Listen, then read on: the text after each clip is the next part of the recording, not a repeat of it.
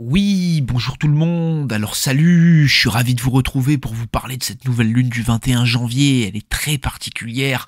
Elle saute aux yeux, comme on peut dire, et on le voit de suite hein, quand on regarde le graphe.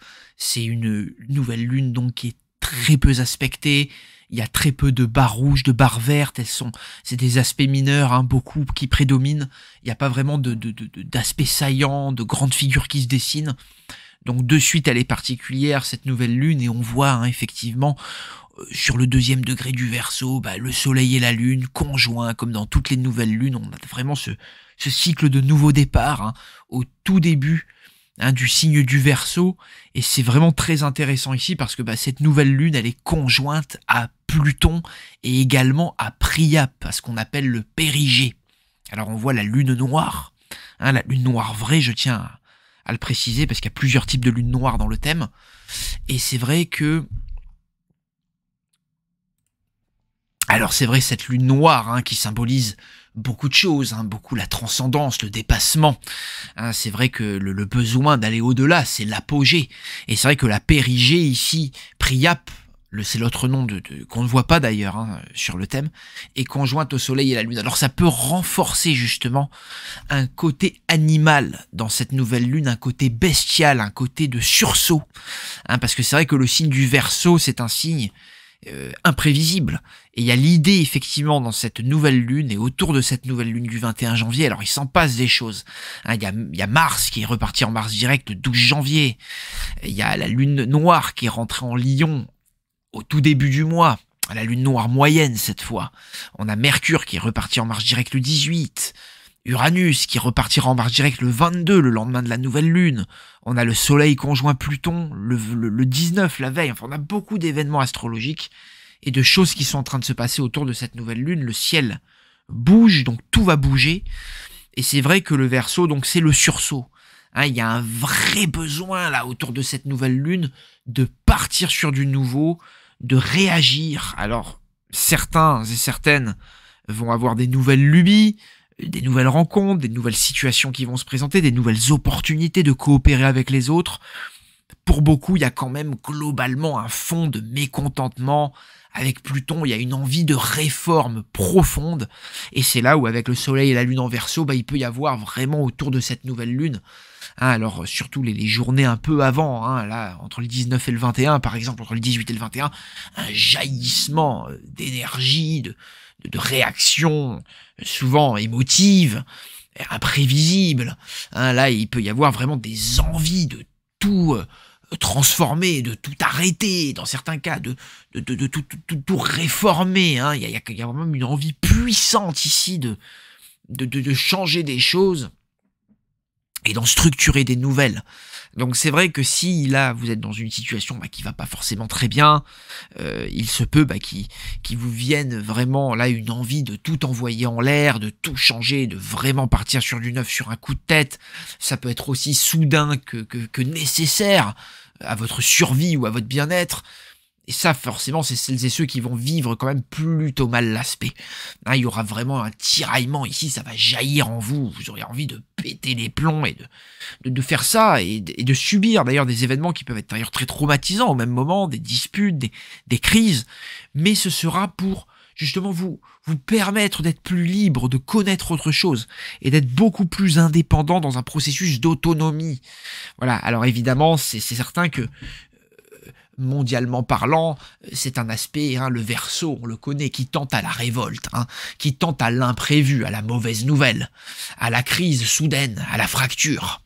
Alors on voit que on a eu beaucoup de planètes en Capricorne, on a toujours Mercure et Pluton d'ailleurs dans ce signe, hein, et le Soleil et la Lune vraiment viennent de sortir du Capricorne, ou sortiront du Capricorne autour du 21 janvier, ils seront déjà en Verseau d'ailleurs, cette nouvelle Lune, d'où nouvelle lune en verso, hein, voilà, c'est simple.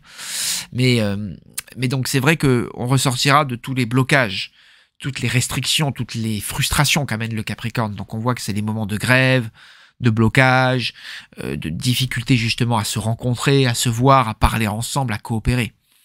Donc tout ça, toute cette frustration, elle va amener un, finalement un jaillissement d'énergie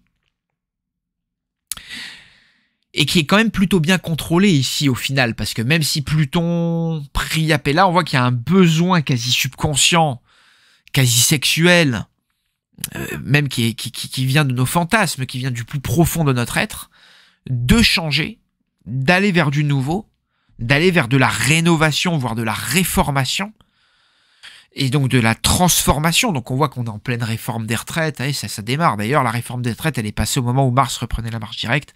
Mercure repart en, en marche directe, pareil, vers le 12-18, là. Tout est en train de se faire. On part sur des réformes, on part vraiment sur du neuf. Alors évidemment, comme je dis, c'est plutôt bien aspecté avec le sextile à Jupiter. Hein, on voit qu'on est, tout est là pour nous, nous aider dans ce nouveau départ. Hein. On y croit. Hein. On, est vraiment dans les meilleures dispositions euh, sur le plan de la volonté, sur le plan du ressenti, pour se lancer. donc c'est vraiment un moment où on se jette à l'eau, on part sur du neuf, avec un peu bah, forcément là les meilleures intentions, les meilleures volontés, les meilleures sensations.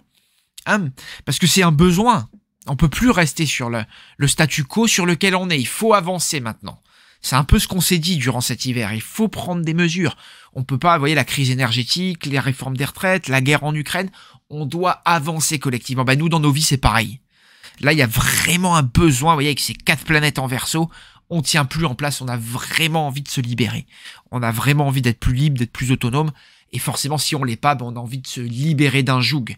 On a envie ici de se rebeller carrément et de le faire savoir.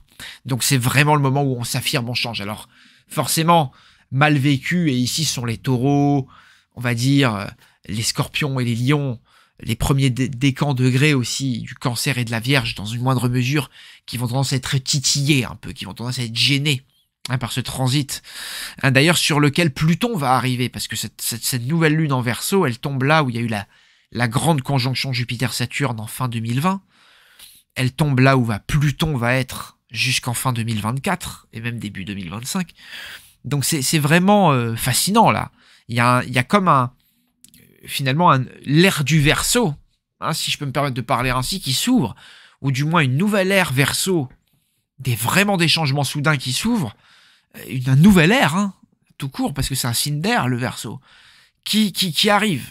Et là, forcément, ça va en secouer beaucoup, parce que le, signe du verso, c'est un signe qui a tendance à, à, permettre de faire table rase du passé et d'aller vers l'avenir, de manière euh, vous voyez, qui, qui, nous fait emporter par des courants, souvent des courants politiques, des courants de pensée. Hein, c'est des courants, euh, on va dire, intellectuels, si je peux me permettre de parler ainsi. L'air, c'est l'intellect. C'est les médias, c'est les nouvelles technologies qui arrivent donc on voit qu'on est là-dedans en ce moment. Hein. On, rentre vraiment dans cette, dans cette ère technotronique, technotronique pardon. Hein, donc l'ère technotronique, le nouvel ordre mondial, le métaverse, comme certains l'appelleront, voilà, le, vraiment le nouveau monde, le monde d'après. Donc on rentre là-dedans. Donc cette, nouvelle lune en verso, bah, elle amène évidemment plein d'espoir, plein de rêves, et pleine de bonne volonté, plein d'envie de changement. Ok. Alors ça, c'est vraiment le, beau tableau, et c'est vrai que bon, bah, elle va un peu rentrer en dissonance avec les taureaux, les lions, les scorpions. Eux, ils ont tendance à vivre un peu le choc frontal.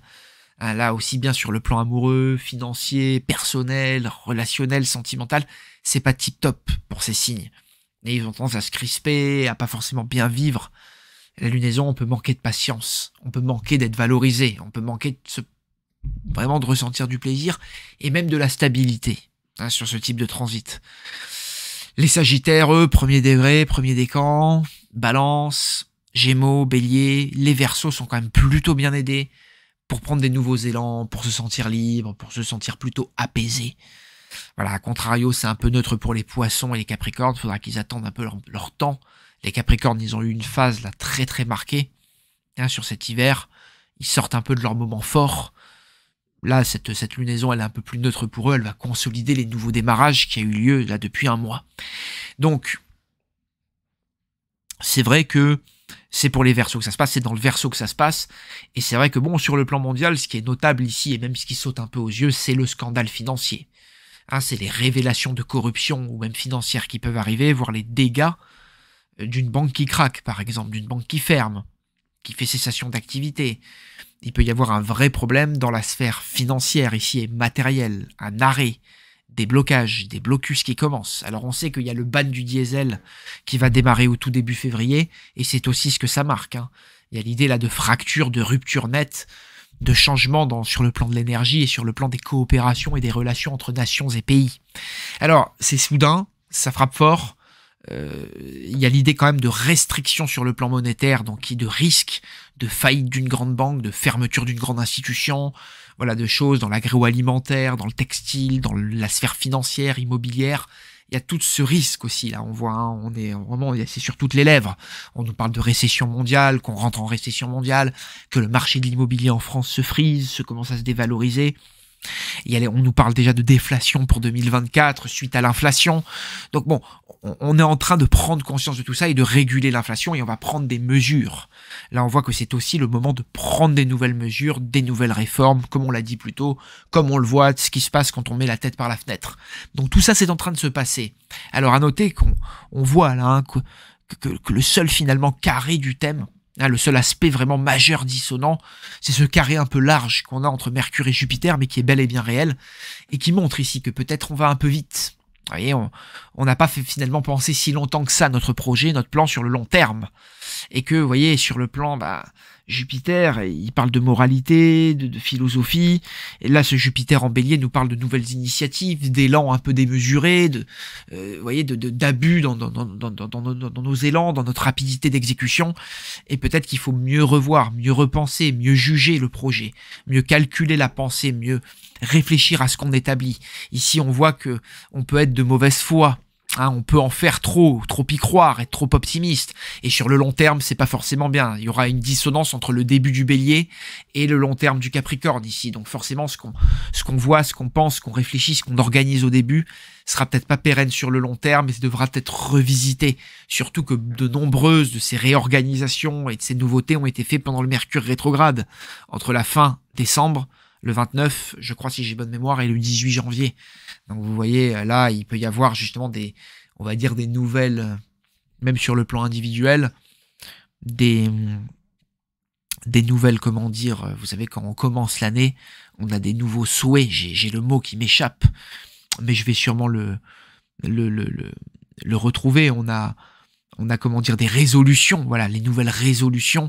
Bon ben là, ces nouvelles résolutions, d'accord, mais il faudra peut-être les continuer dans le temps. Il faut essayer d'être de bonne foi, hein, de pas, de pas voilà, vous vous sentir euh, en difficulté et en panique autour de ces dates et, et, justement essayer de d'aller voir un peu plus loin que ça, parce que c'est vrai qu'encore une fois, le quintille de Mercure brouille ici. Oui, cet aspect de Mercure à Neptune a tendance à inspirer, évidemment, mais en termes de réalité et de réalisme, il faut quand même essayer de voir sur le long terme. Et avec un tel aspect, on aura souvent du mal à être valide, valide pardon, et fiable, et même un peu scalable, comme disent certains, sur le long terme. Donc il faut, vous voyez, bien réfléchir à toutes les réformes, les mesures qui sont prises en ce moment. C'est très très compliqué. On voit que c'est pas pérenne sur le long terme et que ça va créer beaucoup d'agitation. Alors en France, avec un Mars culminant au moment de la nouvelle lune, c'est d'ailleurs ce qu'on voit en ce moment hein, dans le ciel, hein, vers 9-10 heures du soir, vous sortez de chez vous et vous voyez Mars vraiment qui culmine dans le ciel là sur cette période de janvier, fin janvier, mi-janvier, fin janvier, et vous voyez Mars comme ça qui en Gémeaux là qui est reparti en marche directe, qui culmine dans le ciel, qui est très beau à regarder. cette planète rouge là, vous voyez vraiment une une planète là toute rouge, rougeoyante, vraiment merveilleuse à regarder, à observer. Si vous avez un ciel dégagé comme nous dans le sud de la France, alors voilà le tableau. Alors il faut savoir aussi que malheureusement en termes de mauvaises nouvelles, il bah, faut être réaliste c'est que cet aspect, il peut causer à certains endroits du monde la mort hein, d'une grande politicienne, d'un grand homme politique aussi, mais surtout là d'une femme, et ça peut être aussi une grande artiste, une grande actrice. Alors on sait qu'en ce moment, hein, il y, a, y a aussi un taux de surmortalité, alors on en parle beaucoup, Pluton c'est la mort.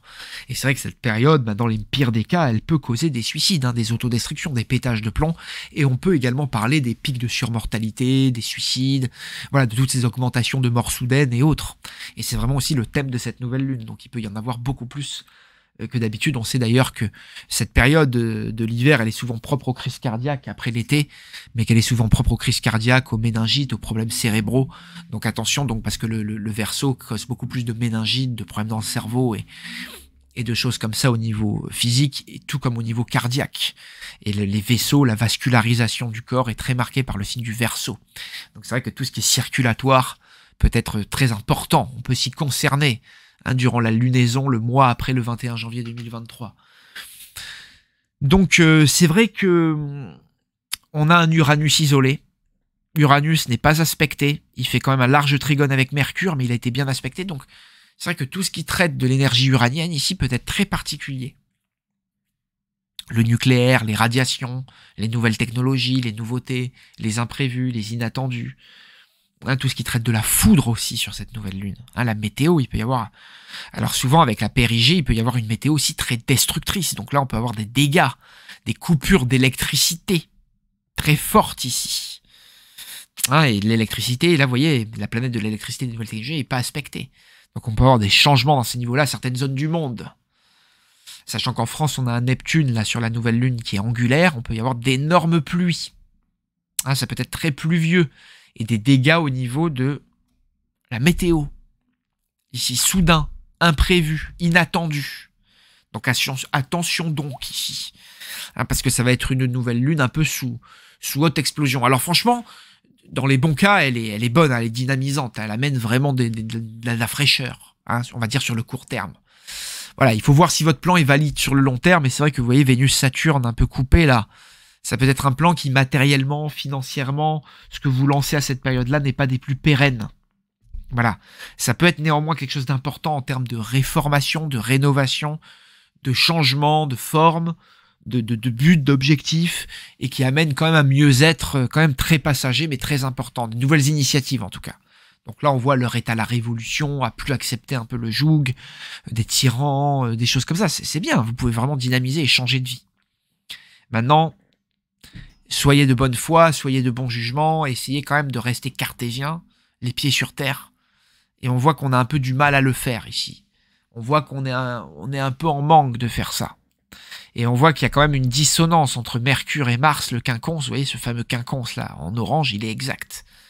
Donc entre l'action de Mars, euh, vous voyez le désir de Mars, euh, la, la, la, la hargne de Mars, l'urgence de Mars, et l'organisation, on va dire le mental de Mercure, les paroles de Mercure, il y a un gouffre ici. Il y a une tension. Vous voyez, il y a, vraiment... Là, on va reprocher, c'est une période où on risque de reprocher aux dirigeants, marqués par le Capricorne et à l'élite mondiale, d'être trop mou, d'être trop laxiste, et d'être trop dans, d'être trop béni oui oui, d'être trop bisounours, d'avoir des mots qui ne sont pas en accord avec l'urgence et les actes. Donc c'est vrai que même sur le plan là des, des premiers décan de beaucoup de signes, ça peut être gênant. Ah, donc là, Mercure, il est toujours en distance avec le premier décan bélier, balance, cancer et capricorne. Donc c'est vrai que ces signes sur la sphère mercurienne, il y a des choses à revoir en termes de plan, d'organisation, de réflexion, de mental. Voilà, c'est un moment où on peut justement euh, prendre un peu du bon temps pour un peu moins penser, pour un peu moins se prendre la tête. Si on travaille énormément euh, avec un mauvais mercure, c'est pas le bon moment de signer, de concevoir des nouvelles choses. C'est pas l'idéal. Donc forcément, utilisez ce transit à bon escient, parce que c'est un moment où vous voulez quand même, euh, voilà, faire des, belles choses, bien les voir sur le long terme. c'est quelque chose qui va vous durer sur le long terme, ou du moins pendant un petit moment, les choses que vous allez faire là, sur cette fin du mois de janvier peut-être commencer même. Donc attention de ne pas les commencer sous un Mercure rétrograde.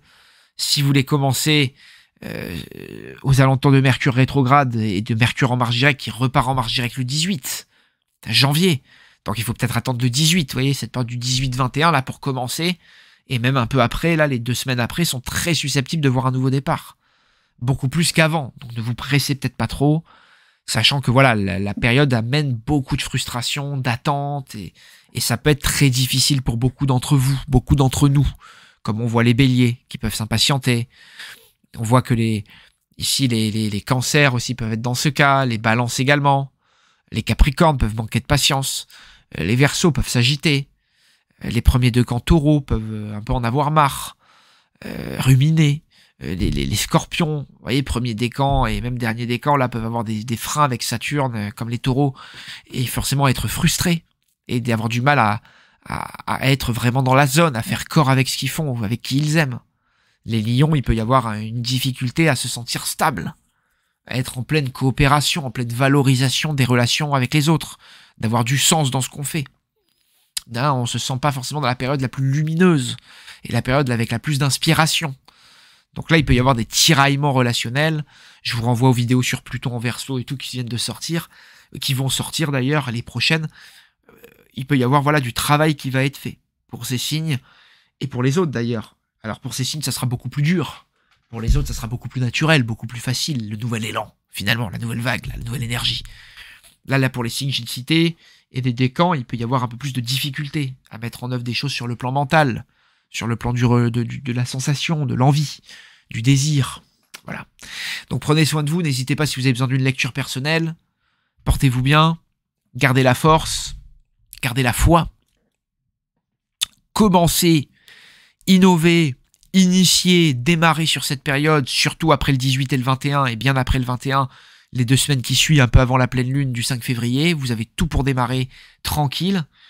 Et, même, j'ai envie de vous dire de manière un peu spontanée, fulgurante, avec beaucoup de pêche, et pérenniser sur ce nouveau départ. Et allez-y petit à petit, sans brûler les étapes, justement. Mercure-Jupiter peut nous faire brûler certaines étapes par risque d'ego, par risque de précipitation ou d'urgence. Donc il faut être consciencieux quitte à un peu se frustrer, quitte à un peu jouer petit. Voilà. C'est pas le, le, le, le but, c'est pas de prendre des risques démesurés. Voilà les amis. Donc prenez soin de vous. Euh, n'hésitez pas si besoin. Très bon moment pour démarrer des nouvelles lectures. Si vous avez besoin de commander un livre, n'hésitez pas. À votre service. Portez-vous bien et merci d'avance pour commenter, partager, liker, apprécier vraiment euh, ces vidéos. Et j'oubliais de dire quand même qu'au trigone de Mars, hein, il y a un très bel élan, hein, je le répète, hein, sur cette nouvelle lune pour démarrer, pour se libérer des carcans euh, négatifs. Voilà, donc vraiment, je vous souhaite tout le meilleur sur cette nouvelle lune et pour profiter, pour vraiment vous faire plaisir et, et pour aller vers plus de liberté, d'autonomie et, et de et de, belles choses dans votre vie et de belles coopérations et de bons réseaux et on sait qu'on est on est bien avec les autres, qu'on est bien soi-même et, et la liberté ça n'a pas de prix ça n'a pas de prix, ça, ça surpasse beaucoup de choses. Voilà. Et je vous souhaite vraiment d'être libre et autonome, et on sait que de nos jours, c'est une vraie richesse, c'est une vraie rareté. À très bientôt.